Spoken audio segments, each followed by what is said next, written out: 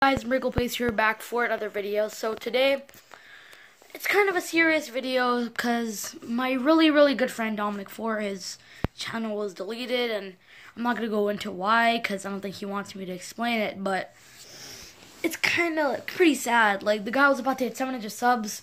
We were going to stream on sun uh, well, over the weekend and it was going to be really good, but then this happened and it's just depressing, you know? It's pretty sad, but yeah, I'm making this video about how his channel got was deleted and he made a video on a new channel and I'm just gonna help him out as much as I can as a friend.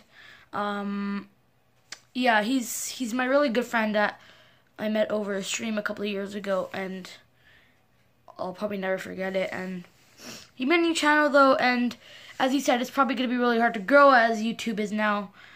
It's harder for younger channels to grow on YouTube. I mean, oh, newer channels to grow on YouTube, and and I can really relate to that. I've been doing YouTube for two years, and I've not even been near his success. Well, as many subscribers as he has, and it's true. Like it's true. It's really um, it's really true.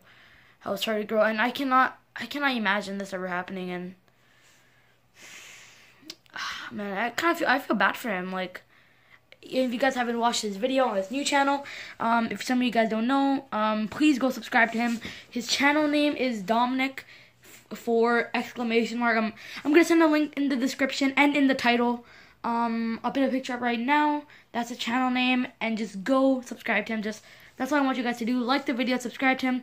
Let him know that you know that you know we're here for him, and it's it's it's it's alright. You know, like he, yeah, the, the, you guys probably already know about him from me because, you know, a lot of his viewers are in my channel now. Well, like, some of his viewers I can see in my comment section.